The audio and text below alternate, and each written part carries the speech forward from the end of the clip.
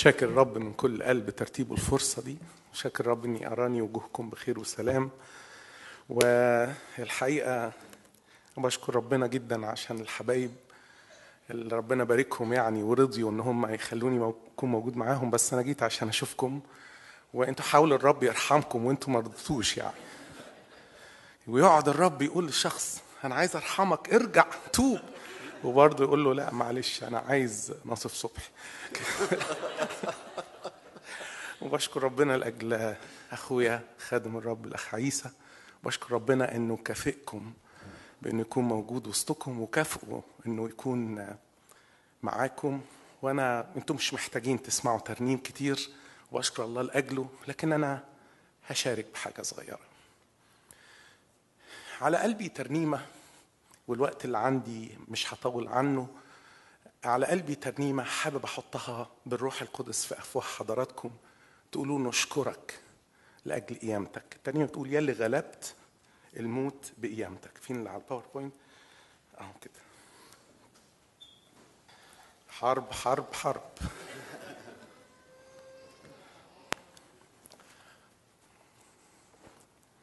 بس إحنا مصدقين إن لينا إله منتصر.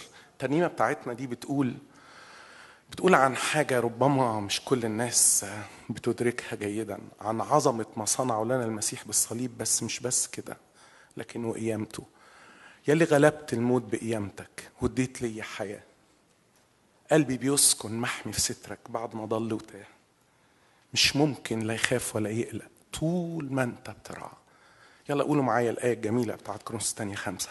هو على الرب يسوع المسيح. مات لأجل الجميع كي يعيش الأحياء فيما بعد لا لأنفسهم بل للذي مات لأجلهم وقام. اوعى اوعى تنسى كلمة وقام. الأمر اللي النهاردة بنترنم بيه كمؤمنين واثقين لينا إله عظيم مقام.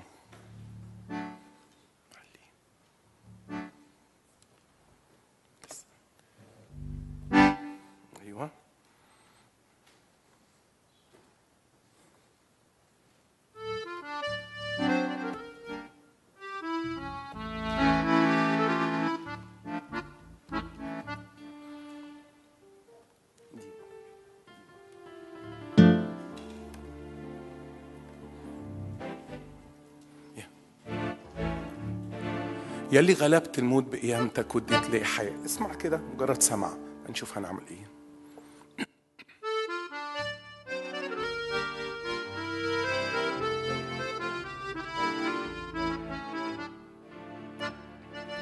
يلي غلبت الموت بقيامتك واديت لي حياة.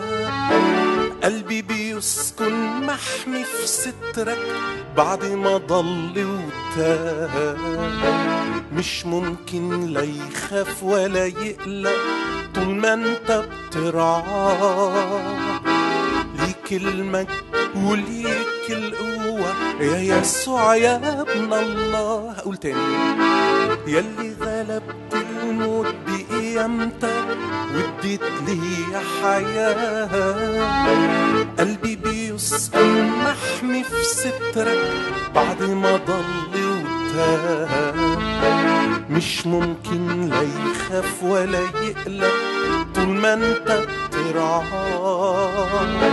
ليك المجد وليك القوة يا يسوع يا ابن الله. قلبي كان مليان بالخوف خجلا من إثمي ومكسوف.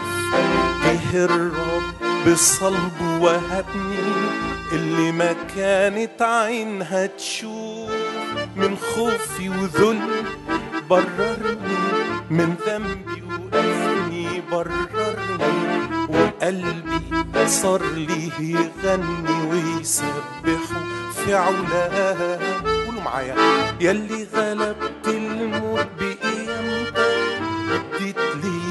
حياة.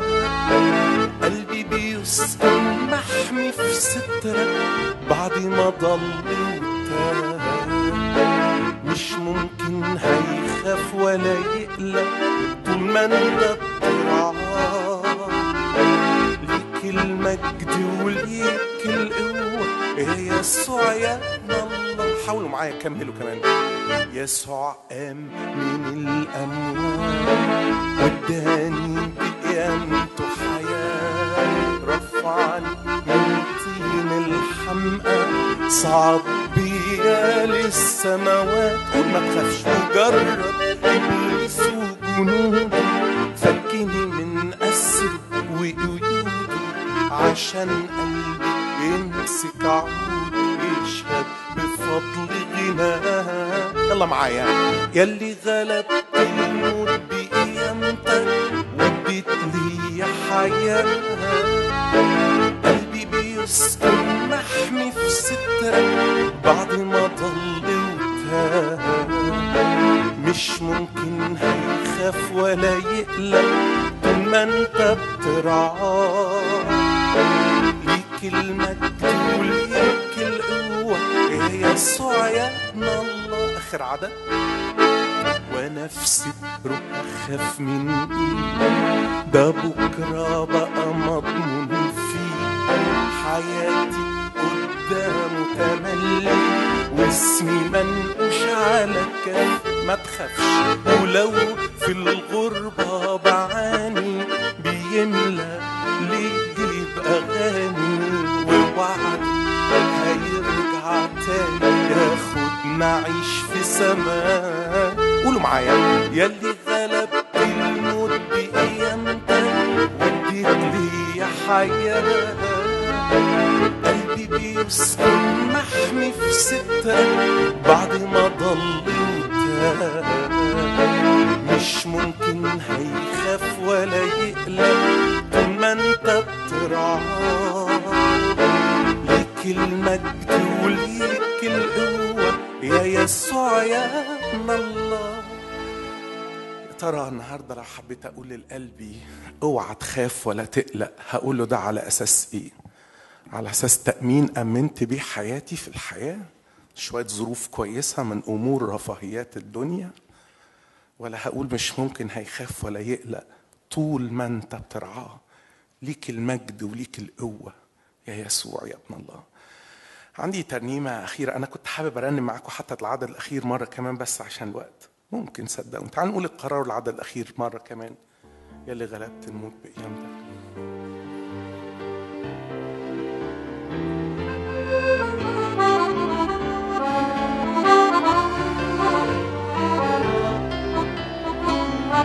يلا جرب ترنم معايا وقول له أشكرك لأنك لأنك هذا الإله الذي لي. مش ممكن هخاف ولا أقلق طول ما بتاع يلي غلبت الموت نعم. آخر عدد هقول القرار وآخر عدد وقرار تاني. يلا جربوا معايا. قولوا معايا. يلي غلبت الموت بقيامتك وديت لي حياة. قلبي بيسكن محمي في سترك بعد ما ضليت مش ممكن هيخاف ولا يقلق طول ما انت بترعاه ليك المجد وليك القوة يا يسوع يا آخر عدد. ونفسي تروح أخاف من إيه بكرة بقى مضمون فيه. حياتي قدامه تملي واسمي منقوش على كفي ما تخافش ولو في الغربة بعاني بيملي بيدي بأغاني ووعدي هيرجع تاني ياخدنا عيش في سماء. قولوا معايا يلي غلبت الموت بقيامتك أديت لي حياة. قلبي بيسكن محمي في سترك بعد ما ضليت. مش ممكن هيخاف ولا يقلق طول ما انت بترعاه. ليك المجد وليك القوة يا يسوع يا الله. الترنيمة اللي جاية شكلها ترنيمة مدارس أحد. بس هي مش ترنيمة مدارس أحد. وإن كانت مدارس أحد ولا مدارس جمعة مش فارق كتير نوع الكلام وتسبيحه هو اللي بيفرق. بيقول كده بيقول كاتب الترنيمة إن أنا أكتر حاجة اكتب كلمة حاجة بس هتطلع معاك. أكتر حاجة بحب أعملها وأبتدي بيها اليوم.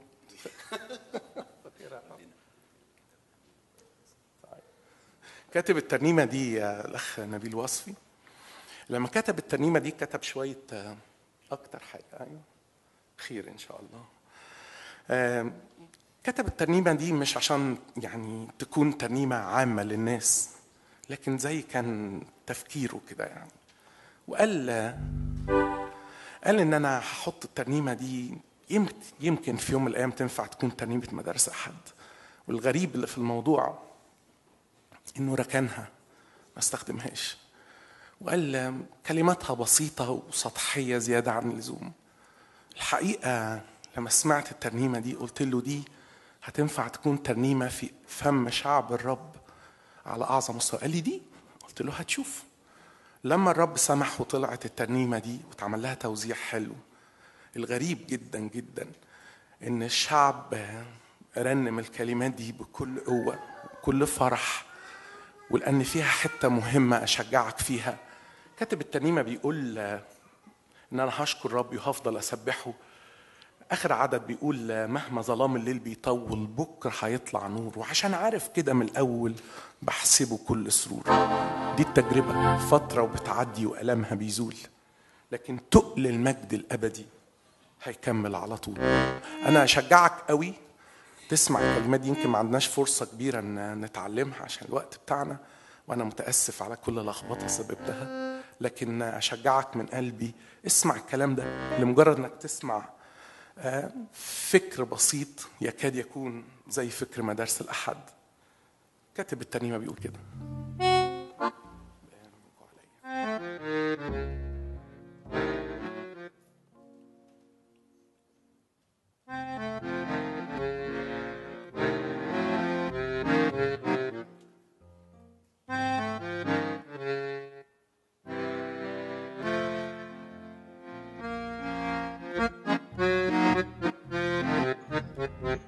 اسمع بس. أكتر حاجة بحب أعملها وأبتدي بيها اليوم أسبح اسم إلهي لما أصحى من النوم وأشكر ربي لأنه حفظني وعدى عليا الليل وأشبع لما أصحى على صورته على وجهه الجميل. هللويا هللويا للمسيح هللويا ملأ قلبي بالتسبيح وأنا يوم راح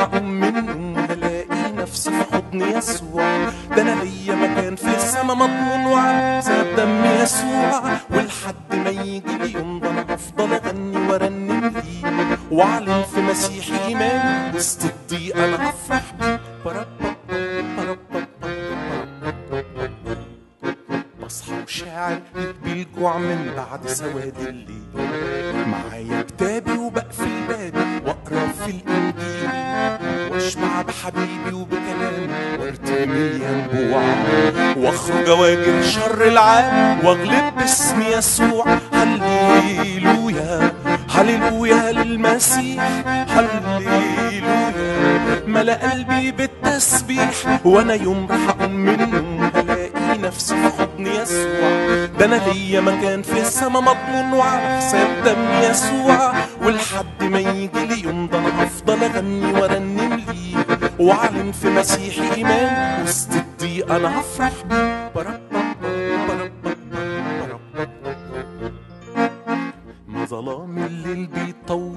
بكرة هيطلع عشان عارف كده من الأول بحسب كل دي التجربة فترة وبتعدي وألمها بيزول.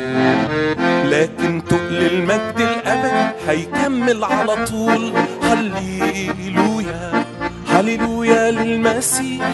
هللويا ملأ قلبي بالتسبيح وأنا يوم راح اقوم من النوم هلاقي نفسي في حضن يسوع. ده أنا ليا مكان في السما وعلى حساب دم يسوع ولحد ما يجي لي يوم ده أنا هفضل أغني وأرنم ليه. وأعلن في مسيحي ايماني وسط الضيق أنا هفرح بيه. لحد ما يجي اليوم ده أنا هفضل أغني وأرنم ليه. وأعلن في مسيح. شكرا. وأعلن في مسيحي إيماني وسط الضيق أنا هفرح بيه. ترنيمه جميلة أخيرة كاتبها بيقول يسوع حي فيا. تعال نقف ناخد الترنيمة دي آخر واحدة. نشيدي. B flat major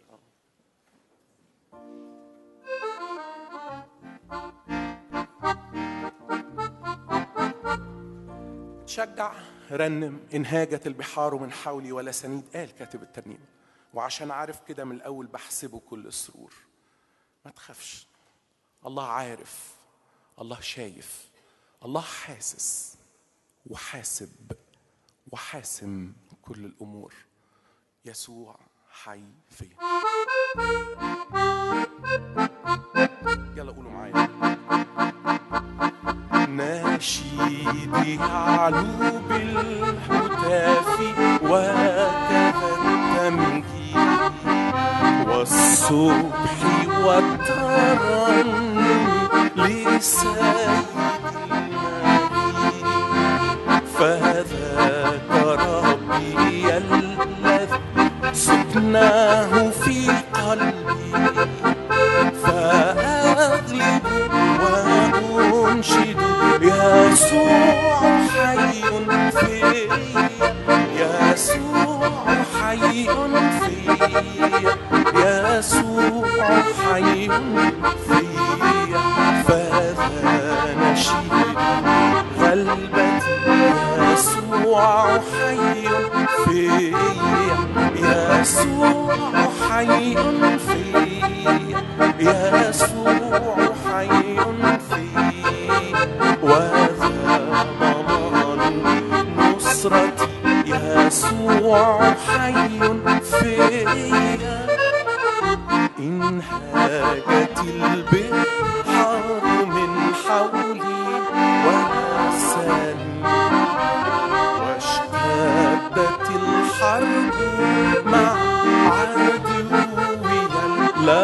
لا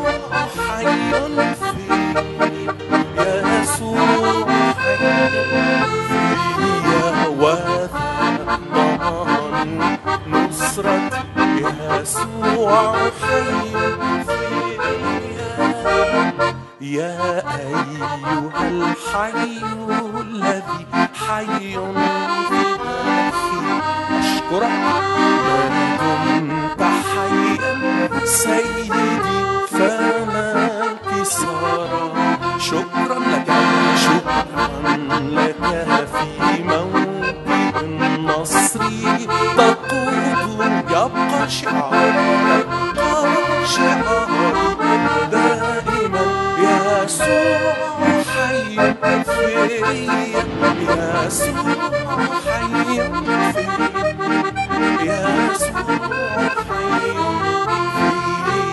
حي قلبتي يسوع حي فيا يسوع حي فيا يسوع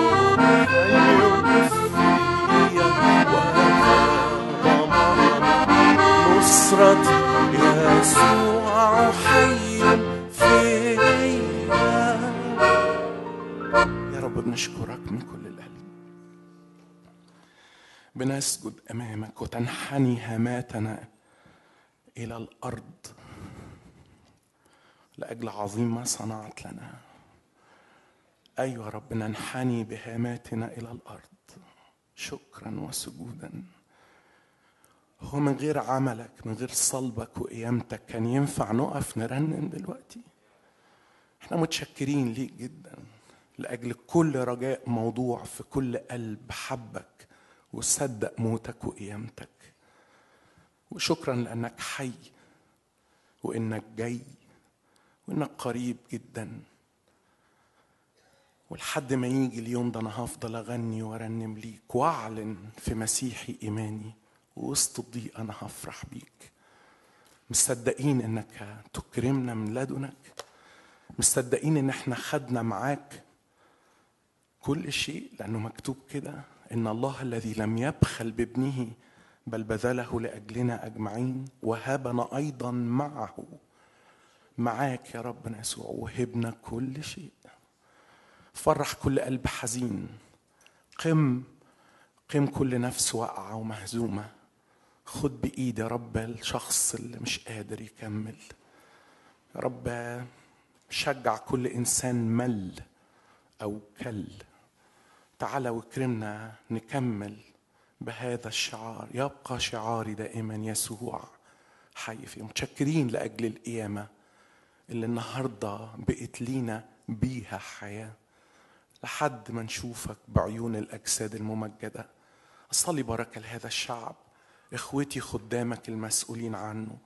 صلي بركة لأخويا خادمك اللي هتستخدمه دلوقتي. تشديد وتعضيد من لدنك ومن روحك وبركة لحياته لاسمك المعبود كل حمد وسجود. آمين.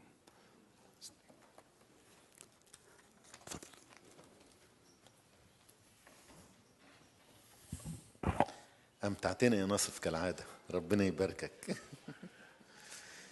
أنا عايز أبشركم بس من الأول إن هاخد وقتي بالظبط. 12 إلا 5 بإذن يسوع علشان نبقى متفقين هنكون خلصنا بإذن يسوع. حياة ذات هدف. فهقول في خلاصة شديدة جدا في دقايق قليلة جدا ده الرسالة إلى العبرانيين أصحاح 12 معاكم كتب مقدسة؟ بقول باختصار في عبرانيين 12 الثلاث أعداد دول حط لينا أربع أفعال. اللي عايز حياته يبقى لها هدف رسالة فكر معايا بس في الثلاث أعداد دول وشوف معايا ال يعني الأربع أفعال اللي هنقف قدامهم دلوقتي. يقول لذلك نحن أيضا إذ لنا سحابة من الشهود مقدار هذه محيطة بنا. عارفين هو بيقول سحابة من الشهود كان بيتكلم عن مين؟ علشان أفكركم تاني. عبرانيين 11 عبرانيين 11 اتكلم عن إيه؟ عن أبطال الإيمان. أول آية بدأ بتعريف الإيمان. أما الإيمان فهو الثقة بما يرجى والإيقان بأمور لا ترى. وبدأ يتكلم عن سلسلة أبطال الإيمان. هجيلها بعد شوية. أبطال الإيمان. كل واحد حياته ليها هدف. صح؟ لما نمسك عبرين 11 كده كل واحد يا رب اصنع منا أبطال إيمان. يا رب اصنع فينا اصنع فينا. فيقول إذ لنا لذلك نحن أيضا إذ لنا سحابة من الشهود مقدار هذه محيطة بنا. أول فعل اللي عايز يبقى بطل إيمان اللي عايز حياته تبقى لها هدف ومعنى. أول فعل لنطرح لنطرح كل ثقل. والخطية المحيطة بنا بسهولة. أول فعل الفعل الثاني ولنحاضر لنحاضر بالصبر في الجهاد الموضوع أمامنا. يبقى أول فعل لنطرح. الفعل الثاني نحاضر بالصبر في الجهاد الموضوع أمامنا. والفعل الثالث ناظرين ناظرين لمين؟ رغم أن نتكلم عن إبراهيم صح وعن موسى وعن يوسف ناظرين لمين؟ إلى رئيس الإيمان رئيس الإيمان ومكمله يسوع الذي من أجل السرور الموضوع أمامه احتمل الصليب مستهينا بالخزي فجلس في يمين عرش الله والفعل الرابع فتفكروا فتفكروا في الذي احتمل من الخطاة مقاومة لنفسه مثل هذه لئلا تكلوا أخونا ناصف كان بيصلي إن الرب يحمينا. من إن نكل في الرحلة أو نمل. يقول كده لئلا تكلوا وتخوروا في نفوسكم. شايفين الأربع أفعال أحبائي؟ لنطرح كل ثقل لنحاضر بالصبر. ناظرين إلى رئيس الإيمان فتفكروا. أربع أفعال. للي عايز حياته يبقى لها معنى يبقى لها هدف. أقول مرة ال- الأصحاح اللي قبله كان بيتكلم عن أبطال الإيمان. بدأ بهابيل واتكلم عن نوح واتكلم عن إبراهيم اتكلم عن موسى صح ولا غلط؟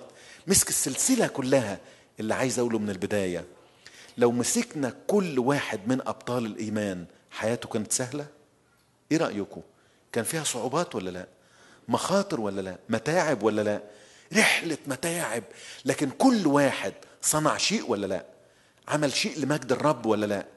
كل واحد فضل يتكلم كاتب الرسالة إلى العبرانيين لغاية لما جه لآية 32 أنا بوريكم بس عشان نشوف المدخل لأصحاح 12 اللي أنا قريته. جه لآية 32 يقول وماذا أقول أيضا؟ لأنه يعوزني الوقت. إن أخبرت. عن مين؟ أبطال تاني.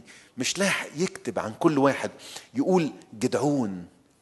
باراك أنا عايز كل ما أقول الاسم من فضلكم افتكروا كده افتكروا الشخصية. جدعون. فاكرين جدعون؟ الرب معك يا جبار البأس. أنا جبار بأس ده أنا مش لاقي آكل. فاكرين جدعون كان بيعمل إيه؟ إيه؟ يقول قم بقوتك هذه خلص إسرائيل من كف مديان. أنا أنا فين قوتي؟ وقام ولا لأ؟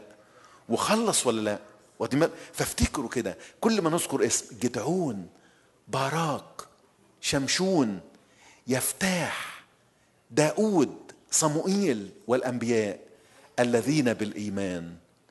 ادينا يا رب الإيمان ده. ادينا يا رب.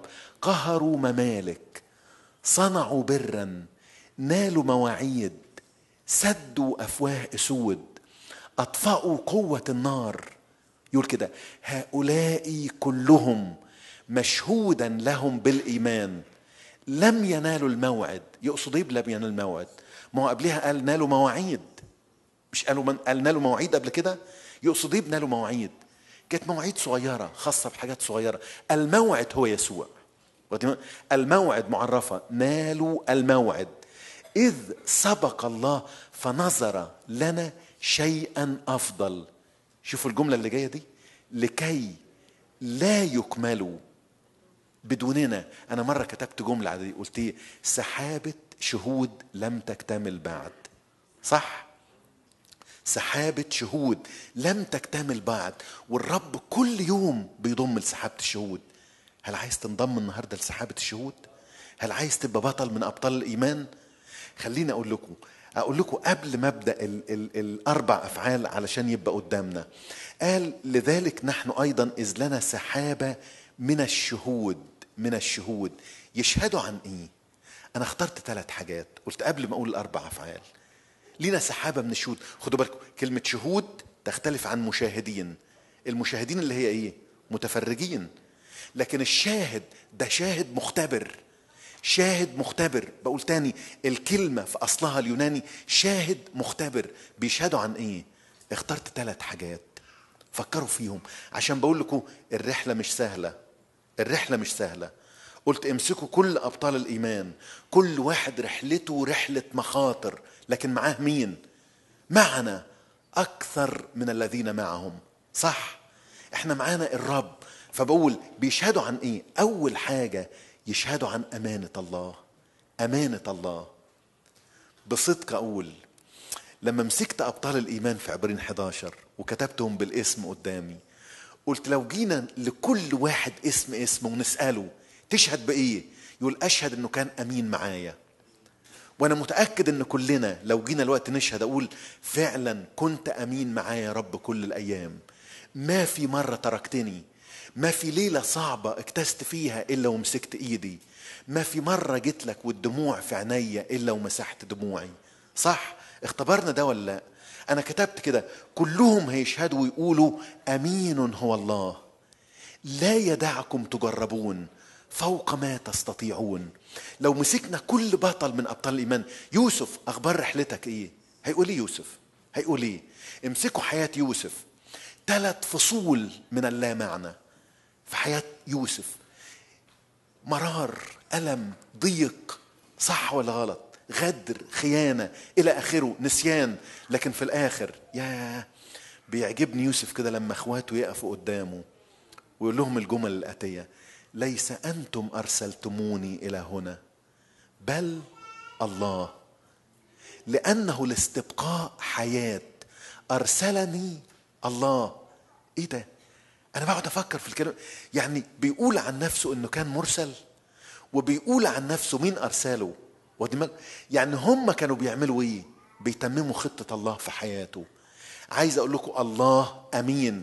كل أبطال الإيمان يشهدوا عن أمانته. إلهنا آمين. خد النهارده قرار هعيش لك يا رب وهكرمك يا رب في حياتي. هكرمك. صدقوني بقول تاني مخاطرة الإيمان مخاطرة محسوبة مخاطرة مضمونة لأن هو اللي ضامن هو اللي ضامن. اسألوا كل واحد كده اتفرغ للخدمة. بياخد القرار إزاي؟ بيعتمد على مين؟ المهم بيشهدوا عن أمانة الله. كان أمين مع كل واحد. بيشهدوا عن نعمة الله. صح؟ نعمة الله.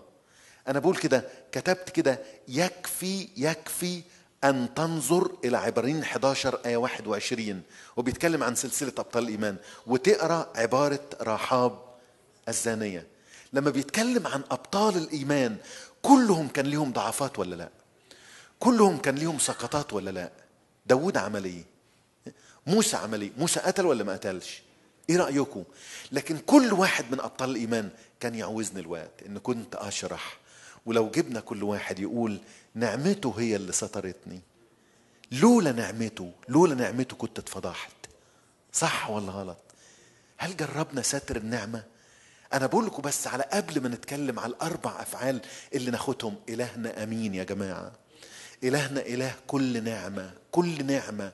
فلو مسكنا كل بطل يقول سندني وأعني وقومني وأنا عايز أقول لكل واحد ولكل واحدة قدامي أنت ساقط؟ قوم النهارده قوم النهارده. انتفض قول لا تشمت بي عدوتي. إن سقطت أقوم إن جلست في الظلمة أوعى تستمر في السقوط. عندنا إله كل نعمة. صدقوني عندنا إله كل نعمة. ينتشلنا مش قادر؟ صدقوني هيديك القدرة تقدر. هيديك القدرة. مغلوب مغلوب مهزوم.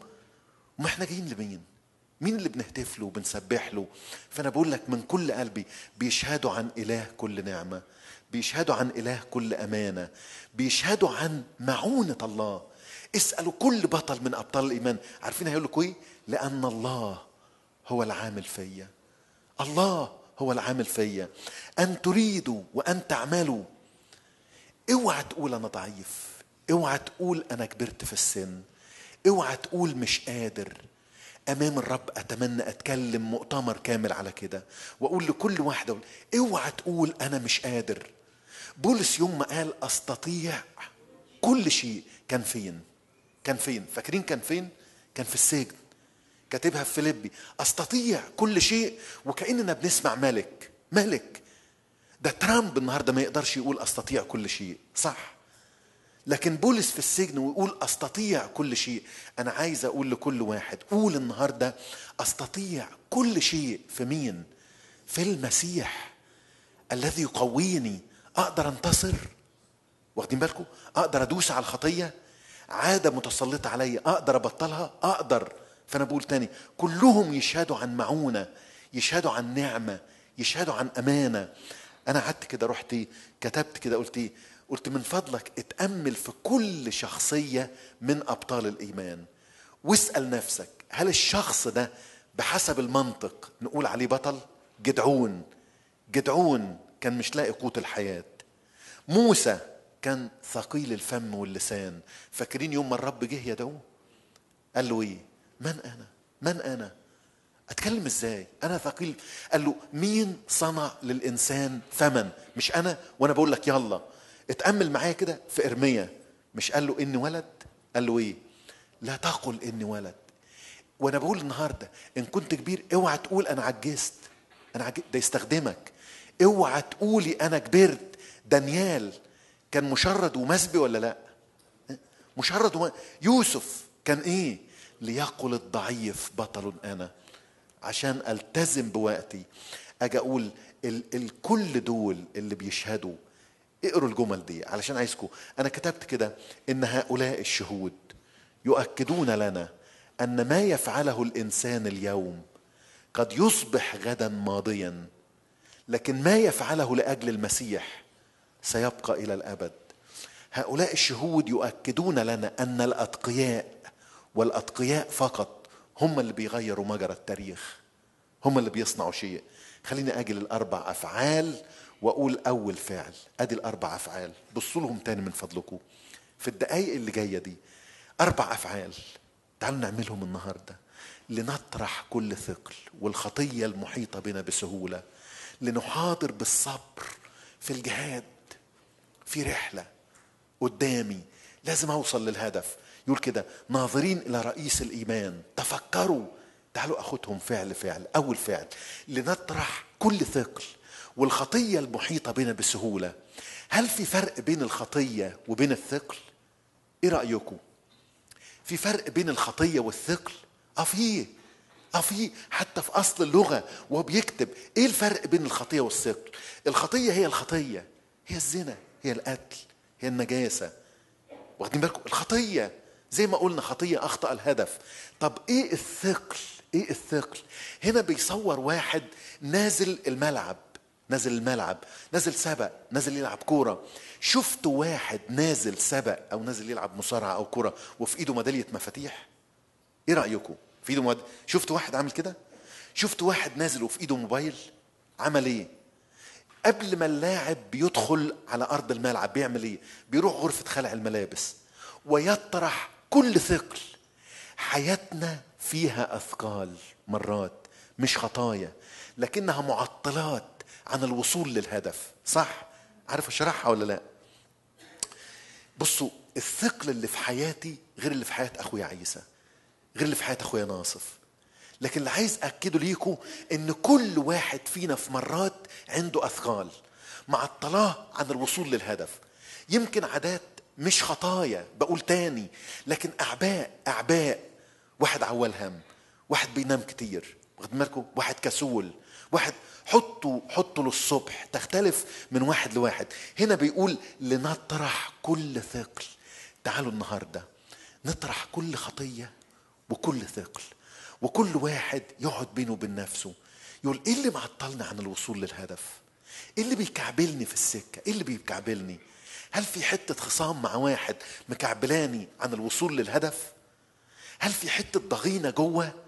إيه اللي مكعبلني؟ إيه اللي مخليني مش عايز أوصل لنطرح؟ أؤكد ليكم إن الفعل لنطرح لنطرح ده في اللغة اليونانية فيه قدر من الصرامة.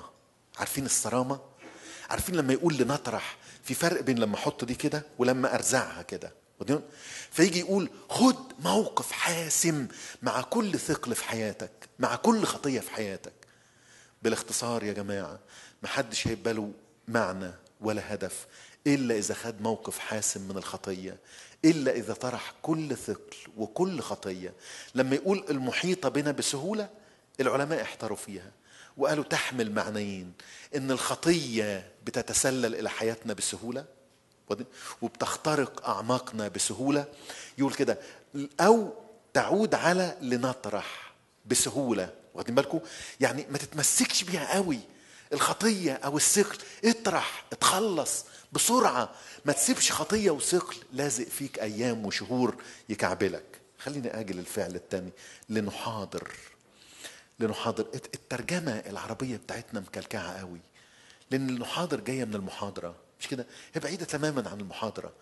لنحاضر كلمة صعب لنحاضر بالصبر في الجهاد الموضوع أمامنا. هي بتصور بالظبط واحد نزل حلبة المصرع الصراع أو السبق. المفروض يعمل إيه؟ اجري بعزم. لنحاضر معناها كده. يعني بصوا في في في الترجمات التانية. أنا كاتب كلمة لنحاضر في اللغة اليونانية اسمها تريكسومن. دي معناها لنجري لنكافح لنصارع. في ترجمة كتاب الحياة لنرقد باجتهاد في السباق الممتد أمامنا. لنرقد يعني نجري باجتهاد. إحنا الإنجليين عمال نركز على النعمة لكن مش بنركز على الجهاد. وده نوع من الخطأ عندنا صدقوني.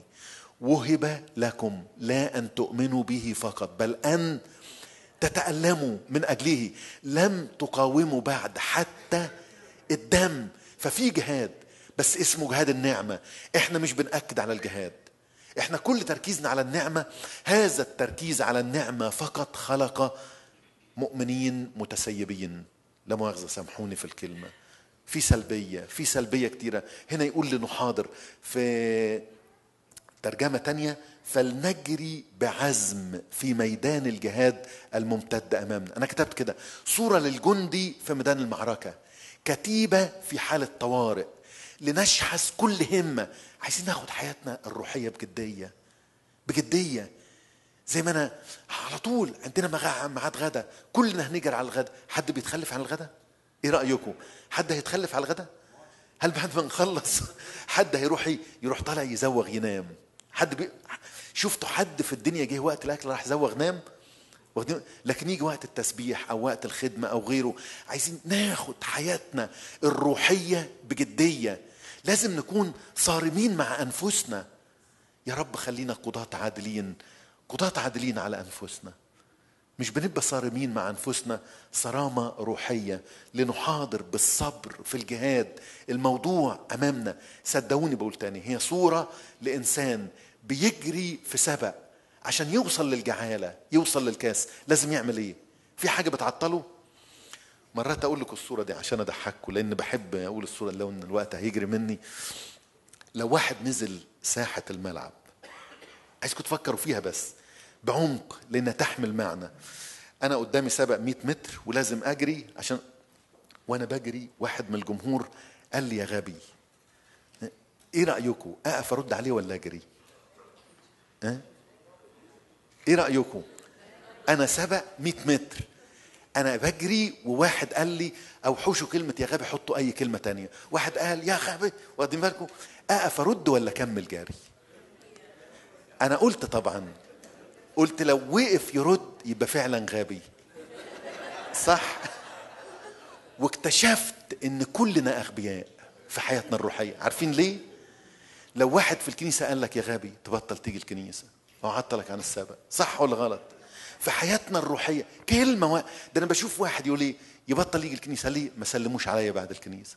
ما رحبوش بيا. غبت ما أعرفش ما عملوا شيء. صح ولا غلط؟ حياتنا الروحية لازم تؤخذ بجدية. خليني ده ترجمة ال American Standard Version ترجمة تانية فلنجري بعزم في ميدان الجهاد. ال- الفعل الثالث ناظرين إلى رئيس الإيمان. رئيس الإيمان. ليه رئيس الإيمان؟ مصدر الإيمان. منشئ الإيمان. أساس الإيمان. أنا قلت لحضراتكم ذكر أبطال لكن لا ينظر إلى أبطال. لا ينظر إلى أبطال. ننظر إلى مين؟ الرب فقط إلى رئيس الإيمان ومكمله اللي بدأ الرحلة وهيكمل الرحلة. صح. اللي بيستقبلني على الشاطئ الأبدي في نهاية الرحلة هو اللي بدأ الرحلة. الغريب إن لقيت لاهوتي بيقول إن الكلمة رئيس الإيمان ومكمله بيقول في الأدب اليوناني كانت بتطلق على رئيس الإيمان ومكمله. كان في الجيش. في الجيش. في فرقة اسمها لإزالة المفرقعات لغاية النهارده. واخدين بالكم؟ إيه تزيل المفرقعات قبل ما سلاح المشاة يجي يمشي في منطقة معينة يتقدم سلاح المشاة. سلاح إيه؟ اللي يزيل المفرقعات عشان يعرفوا التانيين يمشوا لئلا يموتوا. وفي سرية تمشي في الآخر خالص السرية الطبية. عشان لو جندي وقع السرية الطبية تعمل إيه؟ تشيله وتضمد جراحه؟ رئيس الإيمان ومكمله رئيس كانت بتطلق على الفرقة اللي بتزيل المفرقعات مكمله على السرية الطبية. خدوا بالكم للمعنى عايز يقول يسوعنا ماله. بيتقدم الرحلة يزيل المخاطر من قدامي. وماشي ورايا إن وقعت بيسندني بيضمد جراحي. هو رئيس الإيمان. أقول تاني بدأ الرحلة معايا وبيكمل الرحلة. إيه، الهدف من النظر أنا كتبت كده لما يقول ناظريا هو الهدف التحول إلى نفس الشيء المنظور إليه. ناظرين إلى رئيس الإيمان مش صورة كده ليسوع حاططها في جيبي. واخدين بالكم؟ فكل شوية أبص للصورة. ده نظر بالإيمان. عشان أنا آخد من جماله وآخد من صفاته وآخد من طبائعه. ناظرين إلى رئيس الإيمان. آخر حاجة فتفكروا فتفكروا. إيه اللي يقصده بفتفكروا؟ دايما نقول عايز تغير السلوك؟ اعمل إيه؟ غير الفكر. لما يتغير الفكر حتى أولادنا الصغيرين يقول لك اقنعني. صح؟ يعني إيه اقنعني؟ اقنعوا بالفكرة. هنا يقول فتفكروا في الذي احتمل من الخطاة مقاومة. أول ما تصحى الصبح املى فكرك بيسوع بفكر يسوع بقلب يسوع. بحب يسوع. لما املى وأشحن فكري بيسوع وما فعله يسوع أنا أبقى إيه؟ واخدين بالكم؟ فيقول فتفكروا يقول لئلا تكلوا وتخوروا في نفوسكم. أقول تاني هم أربع أفعال فقط. أجيبهم لكم تاني عشان يفضلوا قدامنا. بصوا للأربع أفعال. لنطرح كل ثقل. لنطرح. لنحاضر. نحاضر. ناظرين إلى رئيس الإيمان. فتفكروا. تعالوا نصلي. تعالوا نصلي ونقول له رب ساعدنا. ساعدنا علشان الأربع أفعال يبقوا قدامنا لحظة بلحظة. لحظة بلحظة. دكتور عصام حضرتك تيجي تختم لنا اجتماعنا بالصلاة.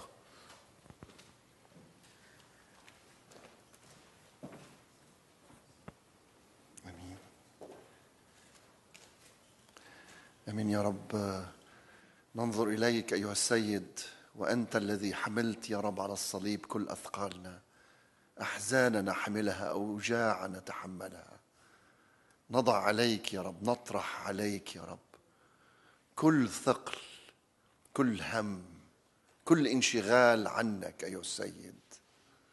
اصلبه أيها السيد ضعه هناك مع كل خطية مع كل فكر غير منسجم مع روحك أيها السيد. نضعه هناك على صليبك ونريد أن نحاضر بالصبر أن نثابر أن نجاهد. ساعدنا أيها السيد أنت العامل فينا أن نريد وأن نعمل من أجل المسرة ونريد أن ننظر إليك لكي نتحول إلى تلك الصورة عينها كما من الرب الروح. نريد أن نتحول إلى صورتك بعمل روحك القدوس الساكن فينا. حولنا إلى تلك الصورة ونريد يا رب في هذا الصباح أن نفتكر فيك بشخصك الذي احتملت من أجلنا. نحن الخطاة وأطعت حتى الموت موت الصليب.